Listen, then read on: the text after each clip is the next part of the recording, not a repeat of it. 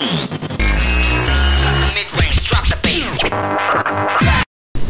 い皆さんおはようございます。今日は GSX-S750 間違わず言えた。GSX-S750 の奈良市ラストデイになります、えーここまでオドメーターで、えー660キロ走りました。今日340キロ走って1000キロ到達させないといけないんですね、えー今日が期限明日明日、えー明日までにというか今日中にでかな、えー明日はもうちょっとね、えー返す予定なので、えー今日終わらせないといけないということでですね、えー今日は走っていきますけれどもまあもちろんね、えーツーリングを楽しんでいこうということですね。まああのーラストなんでね、えー悔いのないようにっつったら変だけどまあ多分ねもう二度とこのバイクでツーリングすることはないと思うんで、えーたっぷりね味わっていければと思います。でどこに行くかというとですね中禅寺湖に、ま、あの中禅寺湖というか千丈ヶ原ですね。え昨日ニュース見てたらですね、えー千丈ヶ原の紅葉が始まっているというね、えー情報紅葉情報でしたので、えーどれ行ってみようかなということでね。あの千丈ヶ原にこれで行くの2回目ですね。1回目のツーリングの時にも行ってますけれどもまたかという感じもするんですが、まあ、ちょっとね振り返ってみたら私つい先日っていうか1週間前ぐらいのことかと思ったら2週間前なんですね。9月30日でした。でえっ、と今日が10月14日ということでちょうど2週間前に行ってでまだ、えーあの歌ヶ浜の辺りがねちょっと色づいてるけど他のところはほとんどね、えーそういう色づきは見られなかったんですが、まあ、気温もねちょっと下がったりっていうのも今週ありましたし、まあ、色づき始めてるということでねどんな様子か、えー見に行こうじゃないかということですね。まあ、そしてね距離を稼ぐということもね必要なので、えー、根性峠を通ってぐるっと回っていこうかなと思っておりますね。まあ、例によってね10時半です今ね、えー10時過ぎに出発しておりますけれども、まあ、丸1日ね走れば340キロ行くだろうと そういう感じで、えー行きたいと思います。さあもう有料道路を使ってですね来ちゃいましたね贅沢にも。今日はねあのもうだいぶ前回寒かったんで、えーしっかり防寒対策をしてきましたね。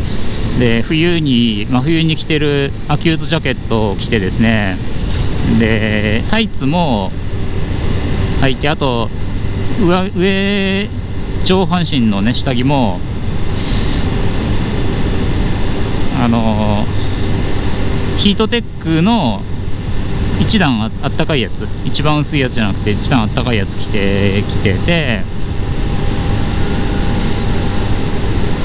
であとフリースとあとフリースも別で持ってきてますね。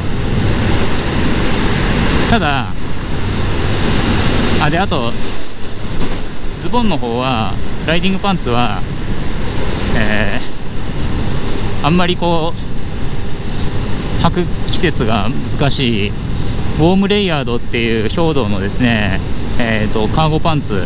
これあのあったかいんだけどでも真冬に着れるほどあったかくはなくてで通通気性っていうか風もある程度スルーしてしまうのでうんでしかしそのウォームレイヤードっていう感じでその裏地あったかいやつがついてるんでちょっと気温上がると暑くてたまらないっていうね。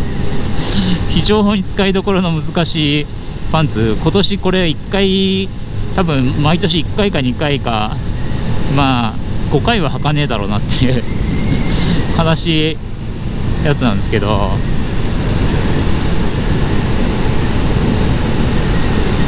まあ、それを履いてきてますね今日は。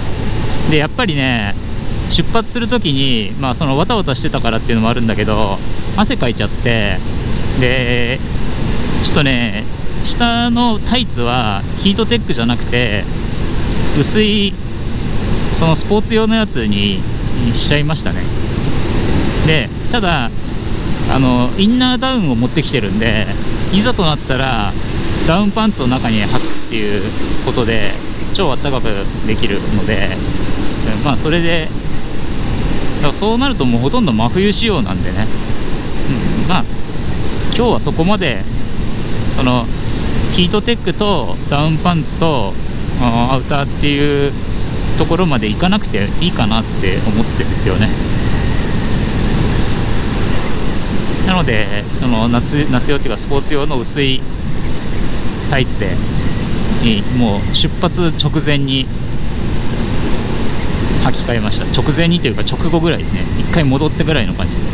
まあ出発はしてないけどよし行くぞっつって外に出てからあやっぱり やっぱり履き替えようみたいな。ちょっと例によって忘れ物もしたんでね。それも取りに戻ったんですけどね。さて、えー、天気の方は曇りですね。さっきまでいい天気だったんだけどこっちはちょっと雲がかかってますね。で昨日雨が降ってたんで路面もちょっとまだ濡れてますね。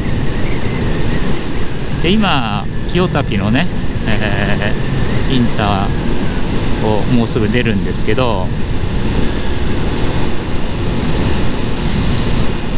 まあ、ちょっとね一つ懸念してるのはいろは坂混んでないかなっていうことなんですが、まあ、まだ戦場ヶ原が紅葉してるぐらいのところだからで平日だしそこまでではないだろうということで油断油断というかですね甘く見て 舐めてきてます。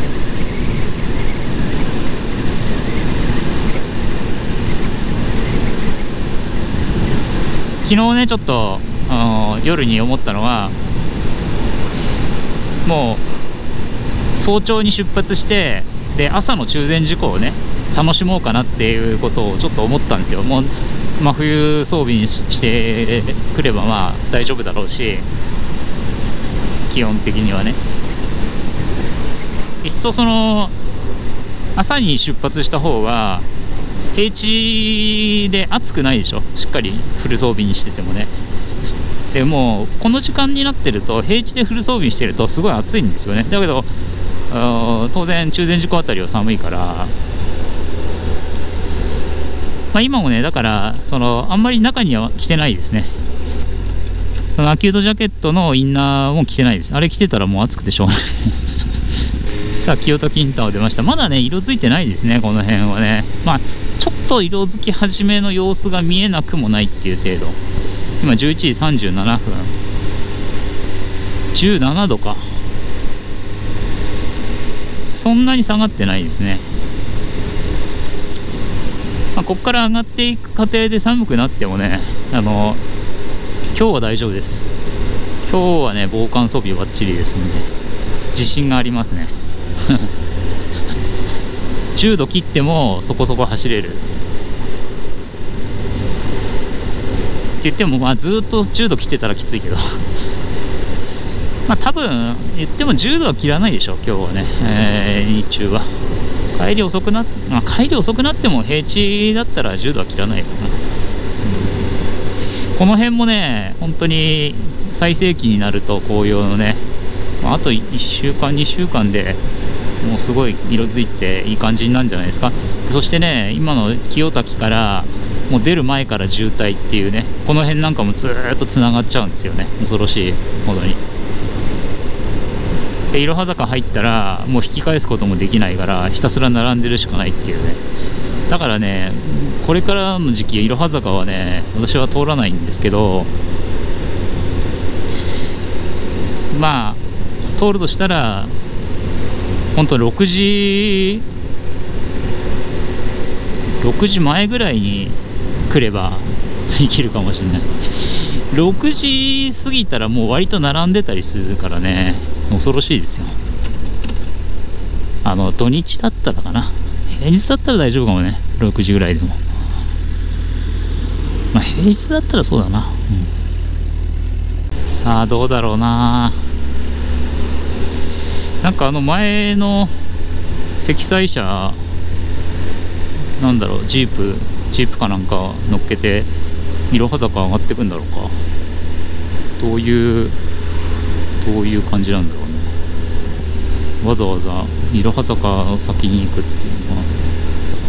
いやー17度か。今ねあのリストバンドしてるのですけれどもあの前回のツーリングの帰りにねリストバンドがあったらよかったなってね。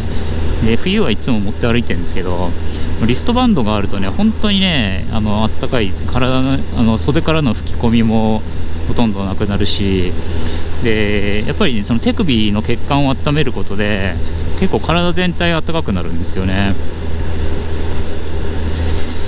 であとインナーグローブも持ってきてるしあとネオプレーンの、まあったかいグローブも持ってきてるんでねちょっと持ってきすぎかな。あとカッパも持ってきてるんでカッパを着れば結構カッパもね結構効くんだよね。で保温のために大事なのってあったかい空気を逃がさないことだから結構カッパをね着ることでねその最終的にその体温維持できたりとかっていう感覚はありますね。せっかくね自分の気に入ってるウェアで走っていい気分で走りたいところでねカッパ着てガサガサ しながらねぼってりしながら走るのもちょっとなんかあれだけどね。さあじゃあねいろは坂に入っていきますね。そんなに混んでる風じゃないね。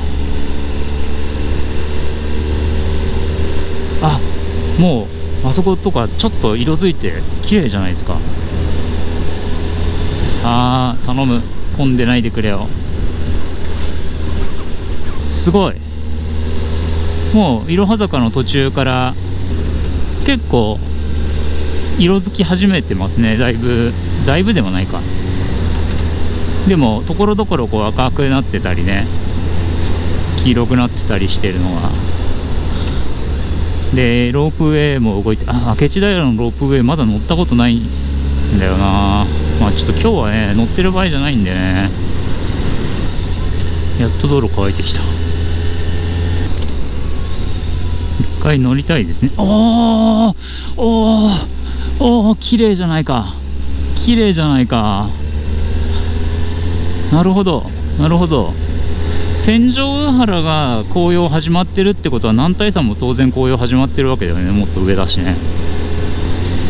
おおナイスだナイス。これはおやつタイムははかどるぞ。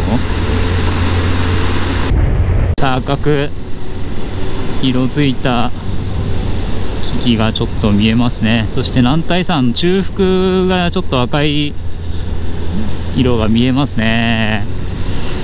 わあ素敵。素敵じゃないですか。またちょっとねこう雲がかかってるところがいいよね。であの雨引観音だっけ？あそこあたりなんかもいい感じになってるかもね。わお！わあやっぱ綺麗だね。そして全く渋滞はななし。渋滞なし。さあシーズン。シーズン真っ只中。中禅寺湖標高1777メーター。じゃあいつもの田川浜駐車場に行きますか。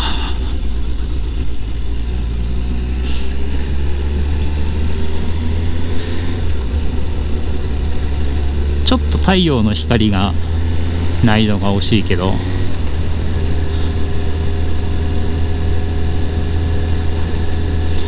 いや書き入れ時だねこの辺の店も。さすがに今やってない店は潰れてる店なんだろうな。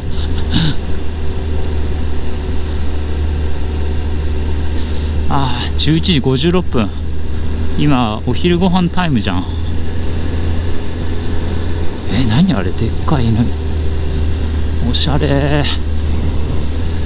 ちしてこれがなんだっけ？なんとか大使館の別荘。どこの大使館だっけ？イギリスだっけ？ペインだっけ？中禅寺。これ中禅寺なの？立木観音だ。天引観音じゃねえ。立木観音だった。天引観音って笠間だっけ？おあっちからバスが来たさあ歌浜いやー最高だねこれいやー最高だね。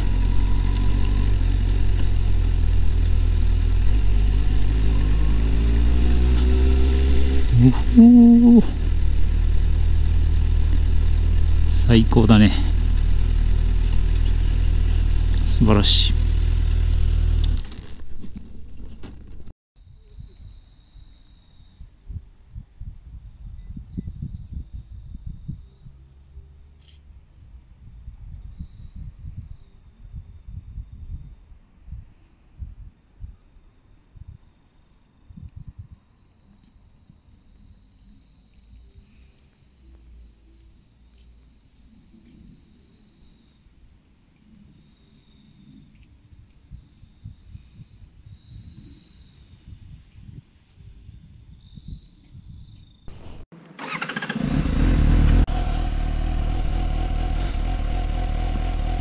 さあちょっと休憩15分ほど休憩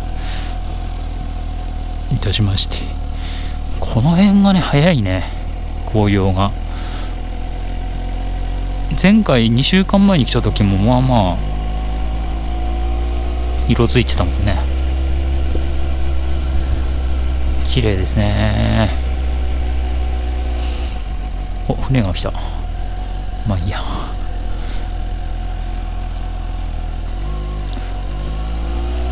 かちょうどね昨日ここからあっち側の方までこの、ね、中禅寺湖を走る、まあ、千条ヶ原の方まで勝負ヶ浜の辺りまでか。中禅寺湖を走る360度動画をね上げたところだったんですよね。だからなんか本当につい先週来たぐらいの感覚だったんだけど2週間前だったね。琵琶湖よりも前だったっていう ことでちょっと時の経つのが 早い。忙しくてわちゃわちゃして。もう次々といろいろ希望通り遊びまくってますねでもね、うん、素晴らしいことだ。ありがたいことだ。あそしてですねちょっと湖畔の景色なんかも見つつですねちょっと今360度は回してませんけどね。ちょっとあの前回はすごいあの太陽の光が良かったんですけど今日はちょっと曇ってるんでねそこまででもないかなと思ってね。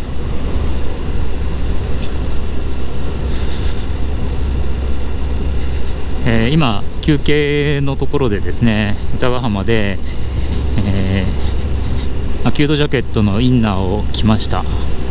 そしてグローブもあったかいのに変えましたのでこれで混成峠を越えていきたいと思います。信号は長いんだよね。しかしあの歩いてる人見たらやっぱり外国人がいますね。あでも全然この辺いないな人がこの辺な並んでるとこあったよねいつも。あまた並んでるやっぱり。何やだこれ。とんかつか。並んでまで食うようなとんかつか。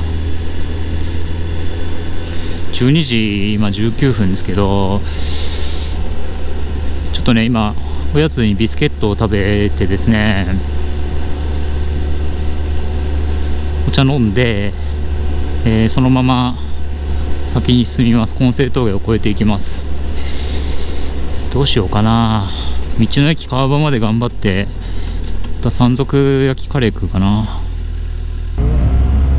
交差点内で止まっている車。なんだ。交差点内は駐停車禁止じゃなかったっけか。今交差点の手前なんだっけ10メ15メーターだっけ。交差点の中に止まってるっていうのはなかなかなかなかだな。よし。SNS にさらそう。そして叩いて承認欲求を満たすぞ。なんちって。おトレッキングしてますね。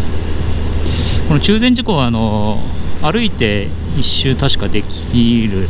というか下かな。下気もするな。あれ？そしてフェフェリーっていうか船に乗ったんだっけか？遊覧船に。乗った気もするな。乗ったような。なんか勝負ヶ浜の方からトレッキングして歌ヶ浜の方まで出てフェリーに乗ってフェリーじゃない遊覧船に乗って戻ったとかそんなことしたいことがあるようなおぼろげな記憶が今。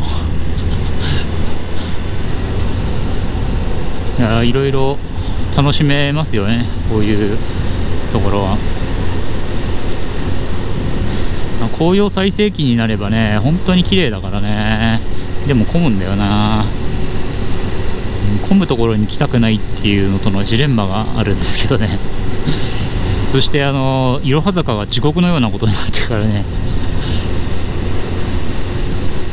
まあだから最盛期の時に来るんだったら平日の朝早めに来てでいろは坂登ってで景色を楽しんだら本西峠越えて向こう側に降りるか川俣湖の方に沖の林道で川俣湖の方に行くかですね。川俣湖の方まで行けばまたそっちの紅葉も楽しめて一石二鳥だしね。とにかくあのいろは坂第一いろは坂の下りを通るのは嫌だ。追い越し禁止だしすげえゆっくりなるし。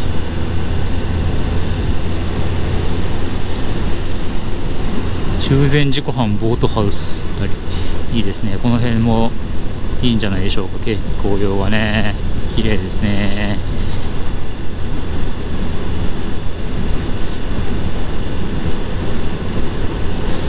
まあなんだかんだ言ってねその人気の観光地有名観光地っていうのはそれだけのことがあるんでやっぱりそのタイミングいい時にですね来ればよりいいんですよね。土定番なんでちょっとこうなんか土定番のところに行くっていうことに対する何か抵抗 抵抗感があるんですけどベタなまあね写真とかでも見てるし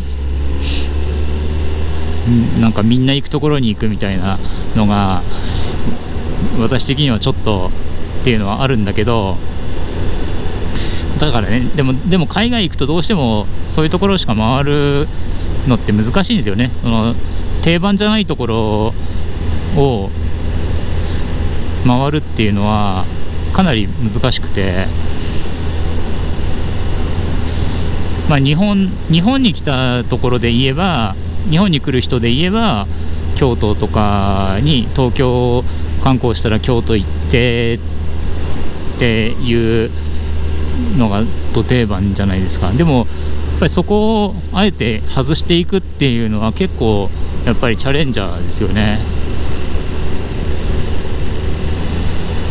だからやっぱり複数回そういう意味では来るか、ま、それなりの長い期間来るか。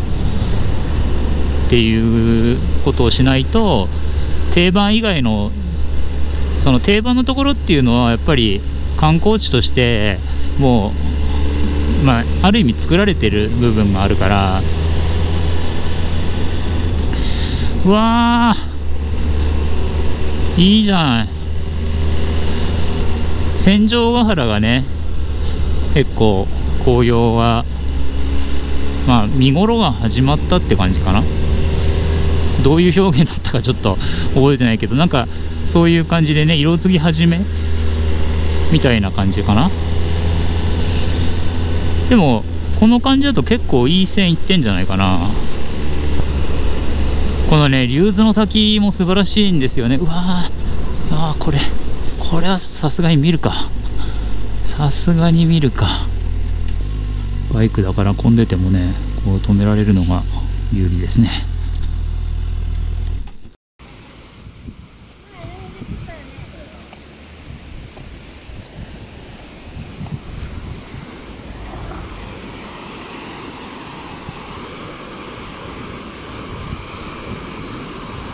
おお素晴らしい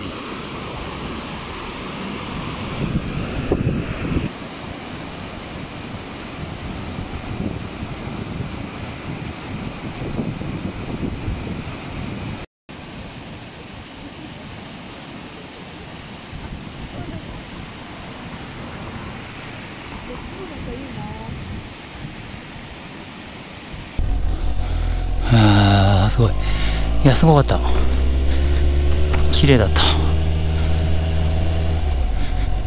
車で来てたら止めるのも一苦労だもんね。こういうところがねいいね。バイクは。いやー竜頭の滝良かったね。もう最高潮に近いんじゃないの？もう9 8割9割はもう仕上がってる感じのいい具合の紅葉だったような気がするけどね。あれ下に止めてねあの歩いて上がっていくこともできてそれもまたいいんだけどまあでもあそこの橋の上からで十分綺麗だよね。であの橋の反対側初めて見たかもしれないけど結構いいね橋の反対側も。さあそしていよいよここが今日の目的地。戦場ヶ原日田さん。ではなくて戦場ヶ原。なんだけどなんだろう。寂しい感じ。いつも人が結構この辺渡る人は多いのに下の方が多い感じがするわ。あ紅葉してますね。おあいい具合にいい具合にね。ああっちの方とかね散策すると散策するといい感じかもしれないねこれちょうど。なるほど。確かに紅葉し始め見頃が始まったぐらいという感じですね。ちょっとなんだろう天気が。こっちの辺りこ混成峠っていうかこっちの山の方に雲がかかってるんで少し暗い感じになっちゃってるのがちょっと惜しいね。今日は。いやでもいいね。今週末はめっちゃ混むかもねこれ。今週末はもうジジャストでしょタイミングとしてはね。今週末から来週末ぐらいだろうね。来週平日にもう一回来てみようかな。っていうぐらいの気分ですね。でもねちょっと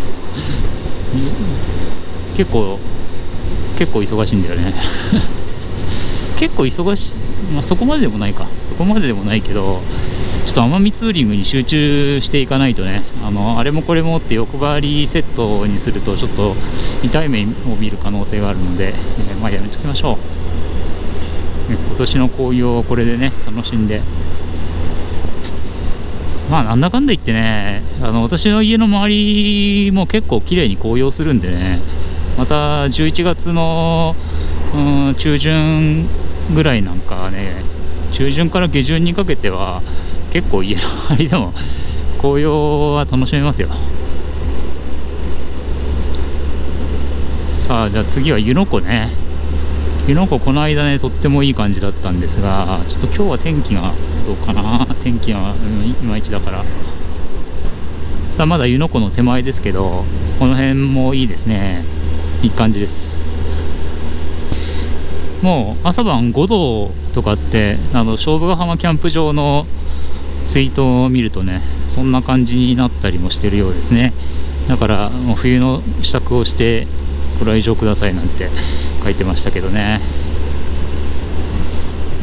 冬キャンプっていうのもちょっと憧れはあるんだけど実際やってみると結構きついと思うんだよね。焚き火してても火の当たってる側と背中側で全然なんつうんですかねあったかさが変わってしまうのであんまりこう快適っていうわけにはいかないですよね。でその上で5度切ってくると多分あの顔とか出してても顔とか耳とかももう冷たくてしんどいと思うんですよね。手手とかもね。で夜とかトイレ行くのにシュラフ出る時にもまた寒いし着込んでいかないととてもじゃないけどきついしっていうね。で体冷やしちゃうとまたねシュラフの中だったらポカポカってわけでもない可能性があるから。あなんだろう意外と車がそんなに止まってないという。ああいい感じでいい感じで紅葉が始まってる。いいじゃん。ああちょっとやっぱり光の加減がいまいちだけど。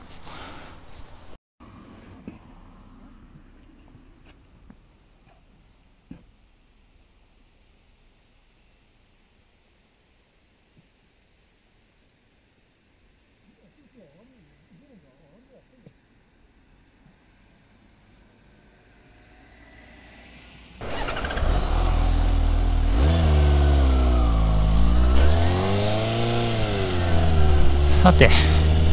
いやよかった。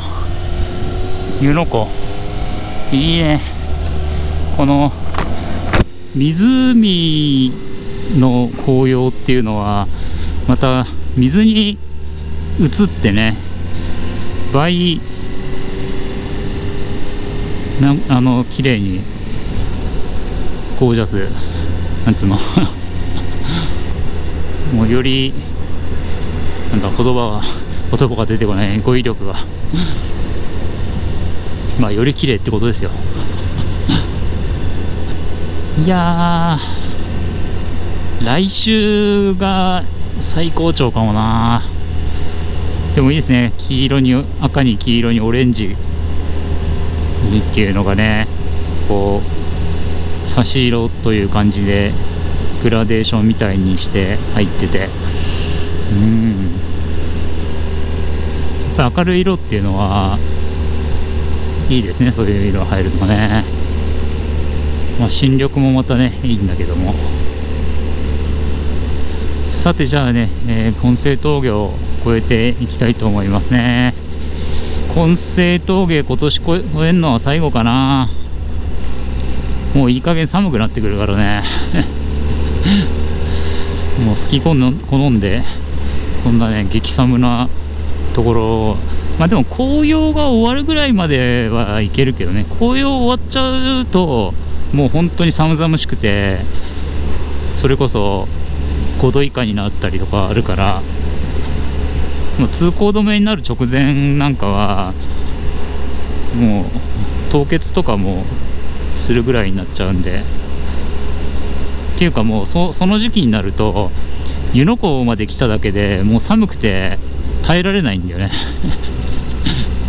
でまたあの本西峠から吹き下ろしてくる風がもう 氷で冷やしてるような風が来るからね。でしかもこうこんな感じいやこれよりもっとすごすごいその雲がね音声峠にかかっててもうあそこに行ったらどうなるどうなってしまうんだろうみたいな状態になっちゃうんで。もうそういう時にはね来てもしょうがないですよね。まあ今ねこう奈良市だからあの少しね長めの距離走んなきゃっていう中でどこ行こうかなってなった時に、うん、まあ2回こうやって抽選事故に来るっていうのはねちょっとバリエーションがねえんじゃねえかなってちょっと思ったけどまあ、長野辺りまでね行くことも多いけどとまあ ETC もついてないし、まあ、ちょっと今ねそんなにあの高速代をバンバン使っていこうっていう状況でもないので。であとねやっぱり荷物をあんまりね積めないですしね。なんとか工夫してねあのシートバッグが安定するようになりましたんでよかったんですけど。今日は結局ねシートバッグの上にネットつけてあの入りきらないあのインナージャケットとか あのそこにネットにねくっつけてきましたね。今着てるからないけどね。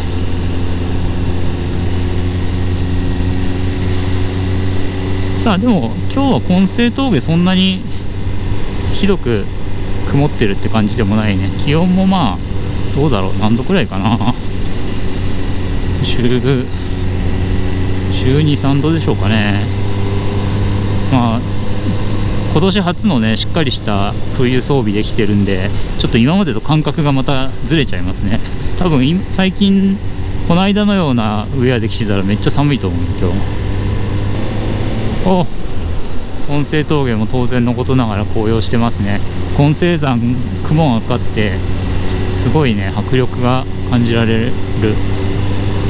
あそういえば今年白根山一回登ろうって言ってたけどそんな場合じゃないな。全然それどころじゃない。山登りはなしだな。こんな感じだと。男体山に雲がかかってますね。このフォトスポットだけど。行っちゃおう。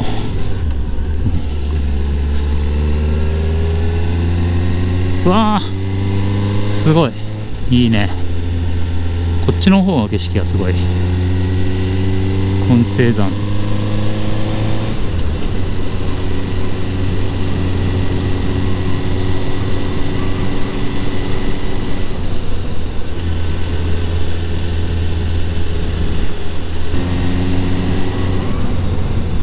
海南大山あちょっとまだこっちから南大山の方を見ると紅葉が少しまだ控えめでで太陽の光がないからちょっとこう綺麗さ綺麗さというか輝きがいまいちだなさあ今760キロあと240キロあと240キロか。ちょっと今日予定しているルートじゃ足りないかなこれ。もしかして。どうしよう。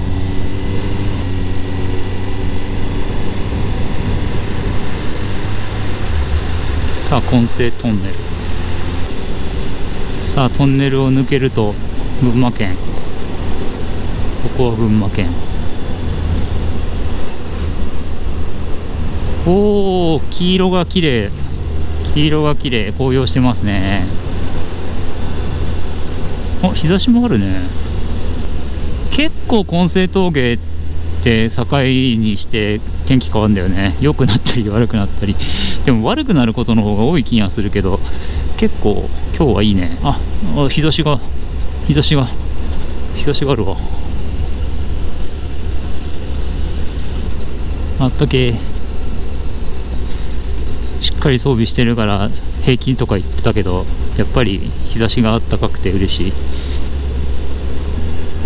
この辺の店は思ったほど車が止まっていない。菅沼。ビデオ撮ってる。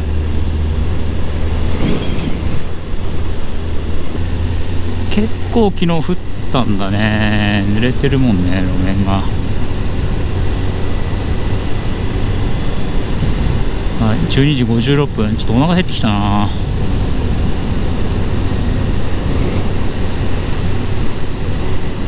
とりあえず川場ね。川場道の駅川場でご飯かな。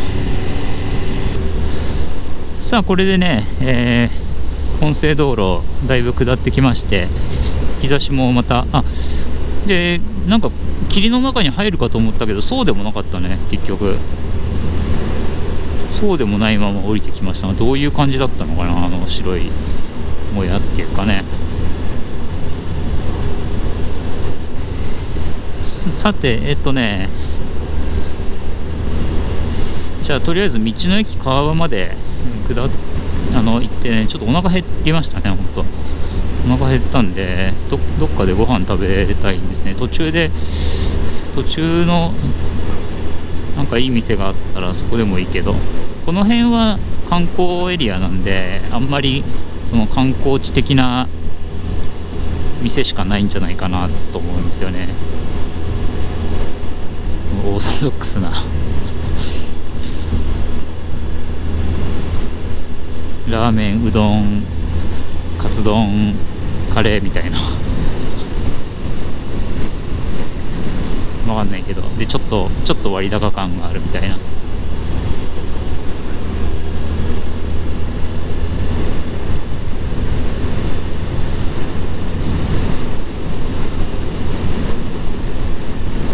いやでも結構早い段階から腹減ったって言ってたんであちょっとおやつは食べたけども。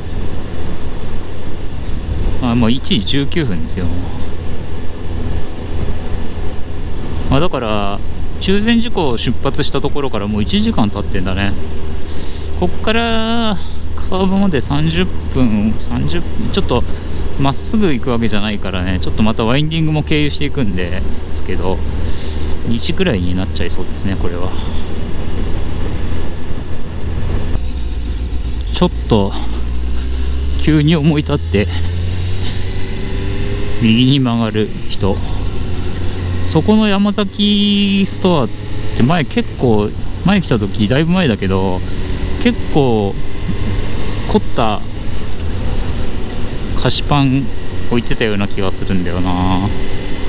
ちょっと入ってみようかな。警察。ここが警察だからか。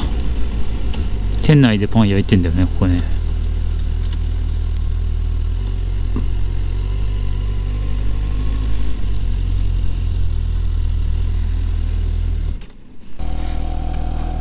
はいやっぱりねここ店内パン焼いてパンパン焼きショップでえー、ちょっとねお昼ご飯の代わりにしようっていうほどではなかったんだけどなんか一押しだったおぜおぜクリームホイップクリームあんパン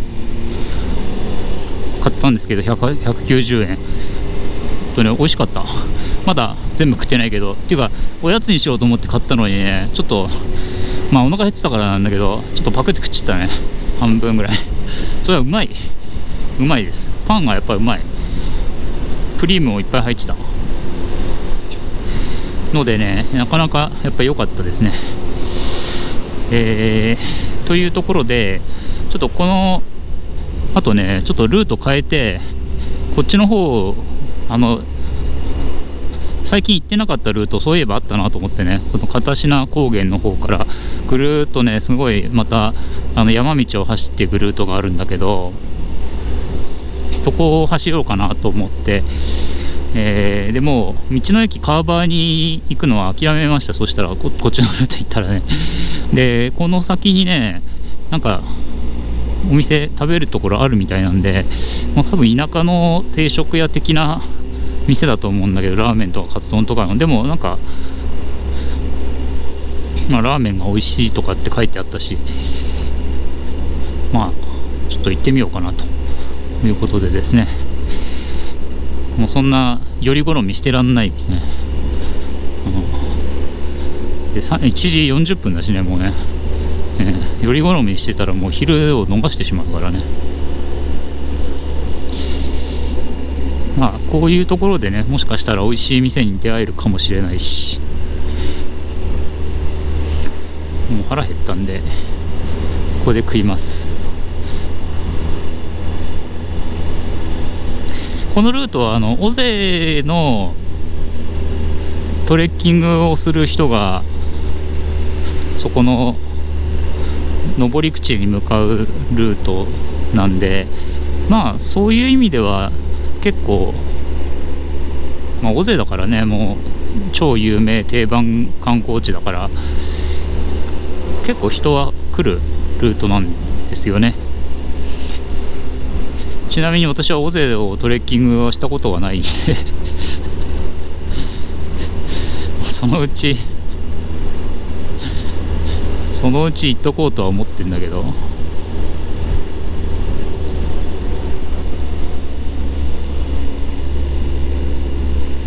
明智平のねロープウェイも乗ってないし、えー、日光東照宮も見てないしね。走ってばっかりです。さあこの辺あまだもうちょっと先だ。400m 先。この辺片品温泉郷っていうの？さあやってるかな？平日平日だけど。でもシーズン的に言ったら割とハイシーズンの方だからね。ここがやってる感じだね。営業中って書いてあるね。おお渋いどうだったチャレンジャーかな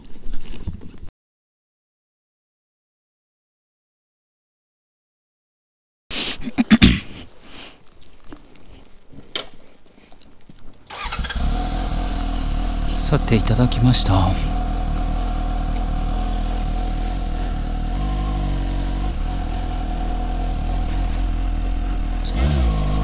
よし。行きます。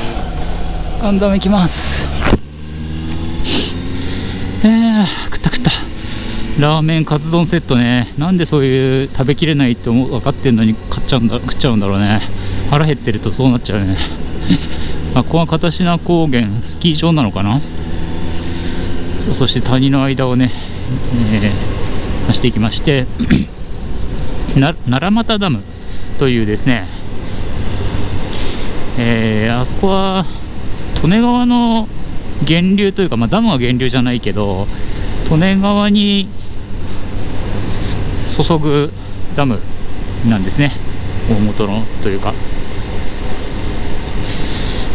かなり山奥に位置している、ところでもありますが久しぶりに行ってみよう。ここから1時間ぐらいだからちょうど食後の腹ごなしにそしてホイップクリームあんパンの残りをそこでいただくかな。えっ、ー、とラーメンカツ丼ミニカツ丼セットなんですがあの美味しかったです。もうねラーメンがねザ普通の醤油ラーメンっていうねもう本当に何ていうんですかね漫画とかドラマで出てくるというかですね醤油ラーメンといえばこれっていうね醤油ラーメンまあ麺そしてチャーシューナルトメンマわかめ。胡椒振っていただきます。っていう感じですね。であの確かにねあの麺が結構美味しい感じはしました。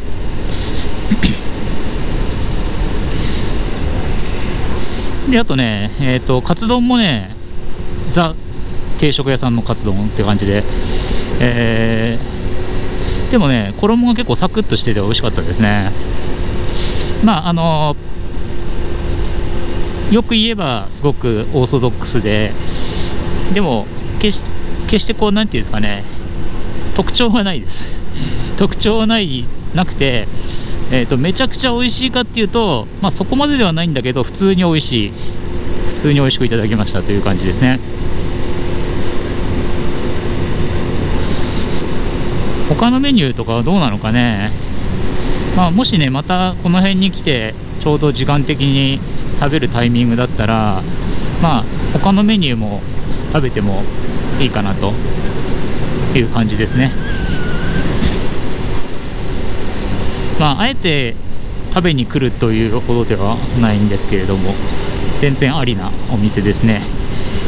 ただね全然まあ時間的にもねあのお昼だいぶ過ぎてたんであれですけれども客1人っていうのはなかなか大変だよなと思ってね。900円。ラーメンミニカツ丼セットで900円ですけど。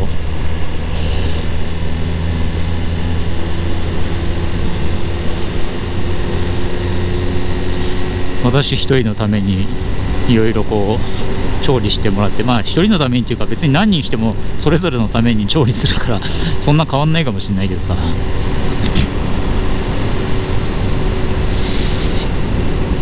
というわけでね、えー、これからあなんか天気が 大丈夫かな？なんかさっきツイッター見たら東京雨みたいなことを、まあ、あのちょっと言ってましたけど。本当そんな予報だったっけ？でスノーパーク尾瀬徳倉温泉？だからこの辺はすごい結構奥まった地域なんですけどやっぱり尾瀬に尾瀬とか尾瀬の観光のルートであり、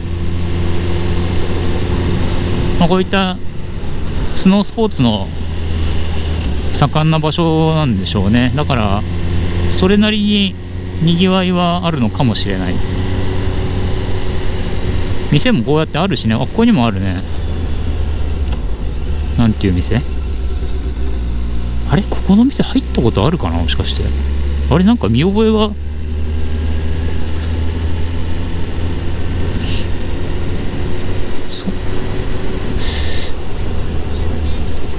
違う店と勘違いしてるかもしれないけど。